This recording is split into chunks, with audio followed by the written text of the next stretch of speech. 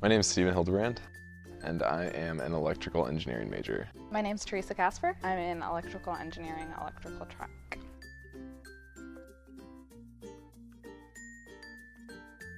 I took one class in circuits in high school, and I thought it would be a lot more of that. Just a lot of resistors and capacitors and inductors, uh, but I'm really glad that it's not just that.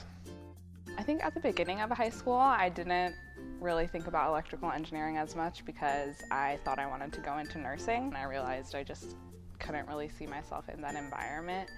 So then I just started looking at the classes that I liked, and one of my cousins was in engineering, so I kind of just followed that route. I chose Portland for uh, its engineering program. Uh, it was very good. It was a small private school, uh, and I had family up here, so it, it seemed to fit right. Plus, the UP community is very much like family in its in its own way, so I think it turned out to be a good decision. For me, I'm from the Portland area, so UP and OSU and U of O had always been on my mind and it came down to UP, OSU, and Carroll. And after visiting colleges, UP is just the one that I liked the most, and I could picture myself in.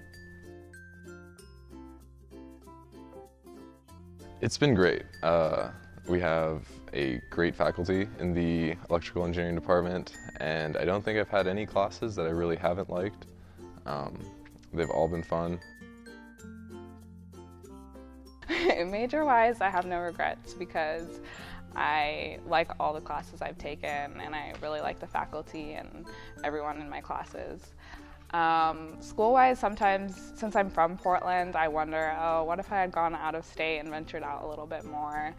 But I also can't really picture myself anywhere else, so I think it all worked out. Um, I don't think so. Uh, mechanical engineering is probably the closest thing, but I still think the double E master race is where it's at.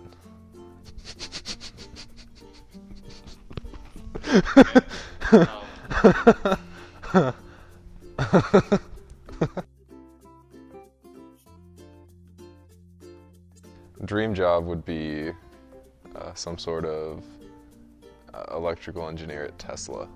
I think that'd be pretty sweet dream job place wise, I think it'd be really cool to work somewhere where energy is what's focused on because that's what I'm really interested in. So an example would be like Bonneville Dam or Pacific Power. But obviously, again, that's like really broad.